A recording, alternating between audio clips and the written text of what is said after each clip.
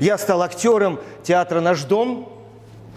В 2017 году я стал актером театра «Наш дом», а в 2019 году возглавил театр «Апрель», который когда-то назывался «Химки-74», в который я когда-то пришел мальчиком. Вот такой короткий путь.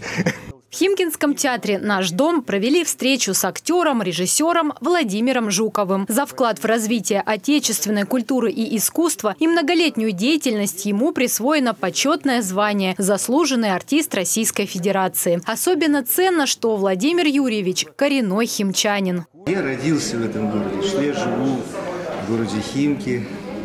Это моя родина. И мой творческий путь начался именно здесь. Я когда-то вышел на сцену театра Химки-74. Пришел к основателю театра Игорю Петровичу Репихову. Мне было 14 лет. Пришел, прочитал басню, стихотворение, прозу. Сказал, я хочу быть артистом. Сказал, ну будь. Владимир Жуков – выпускник знаменитого Щукинского театрального института. Артиста выделяет яркий талант и любовь к своему делу. Его ценят и уважают коллеги. Стать заслуженным артистом – это не так просто. Это не только работа в культуре, но это еще и он вносит свой вклад своим гениальным, своей гениальной работой и своим отношением и трудолюбием к своей профессии.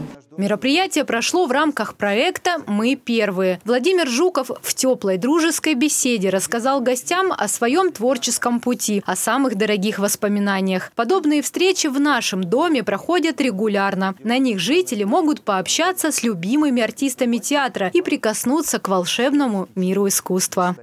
Елена Тараненко, Руслан Сафин. Новости. Химки ТВ. В этом году, да, ну, мое творчество еще связано с театром.